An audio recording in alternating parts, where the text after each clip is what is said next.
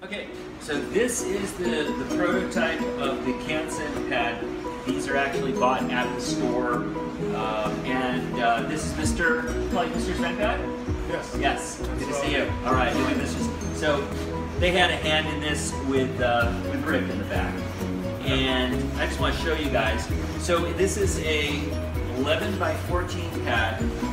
And just noticing with this initial one that it does stick out slightly, um, just a little bit here. This is just an off-the-shelf Hansen pad, heavy paper.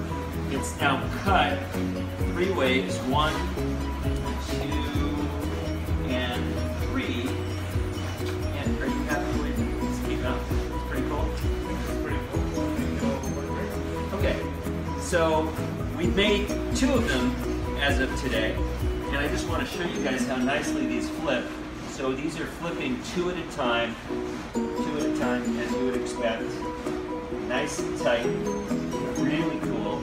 Uh, I was thinking besides pictures here, Mr. Svenpad, these could also be great for um, words.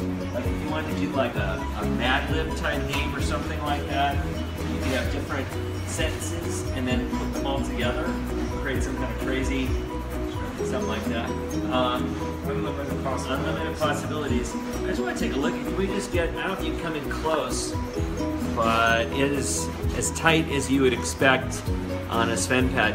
Um, these are probably not 140 fit. If you were guessing, I don't know. You want to look? Uh, because of the thickness of the paper, we made the cuts a little bit wider. Okay.